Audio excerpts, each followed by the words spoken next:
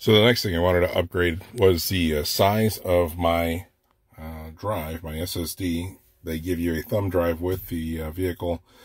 It's not very large. Um, I want to say maybe 8 or 16 gig. It'll hold about an hour worth of time. Uh, this should hold a couple of days worth of uh, recorded material. So I think it's 48 hours for a terabit.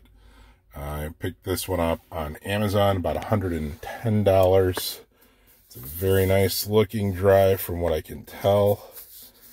Um, it's obviously a Samsung, so it's a good product. It's also IP65, one of the only ones I found, which I thought was pretty interesting. Uh, so if it gets a little water or something on it, it'll, it'll be in okay shape. So I'm going to go ahead and uh, get this set up in the car. Let's uh, open up the glove box. Open the glove box.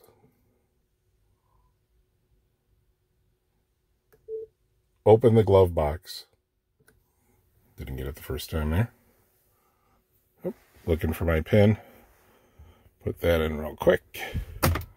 There we go. And the drive that they give to you with it is that little guy right there. Let me go ahead and pull it. And we'll take a look and see. Maybe it'll tell us how big it is.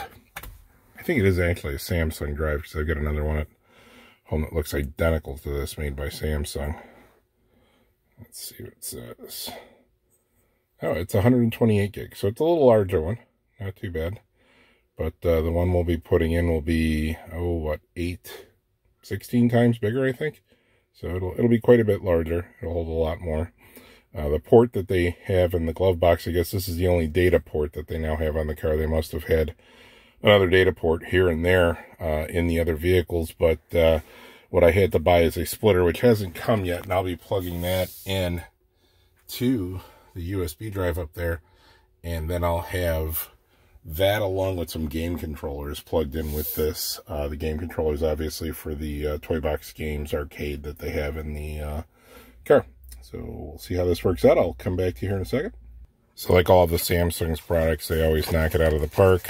Nice packaging, multi-level, little box slides out. There's some instructions. They give you two cables with it, the C to C or the C to A, which we have here. It'll be the C to A for our device, and there is the uh, drive, and it's really small and compact. I'd say it's about, I don't know, maybe about the size of a deck of playing cards, probably a little smaller than even that, a little thinner. Um, so you got a plug right there to go ahead and plug in USB-C. It's some basic information about the drive on this side.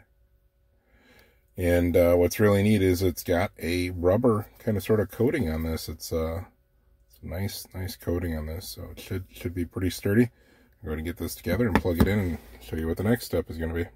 So I went ahead and plugged in the uh, drive with the cord that they provided. It's got a little bit of length to it, which is kind of nice. I can slide it over the other end of the box here if I wanted to. I'm probably going to leave it kind of there for now. Um, and the car immediately detects it and asks you if you want to format it. So we'll go ahead and try to format it here. See what that looks like. Format USB. Drive data be permanently deleted. Yep, that's okay. We'll go ahead and format that. I'm not sure what the format is that they use uh, for the vehicle. But as you see, it's uh, it's good to go. Just like that, success. And uh, we'll see how it does with our videos here. I'll let you know if uh, there's any kind of an issue with this uh, recording or not.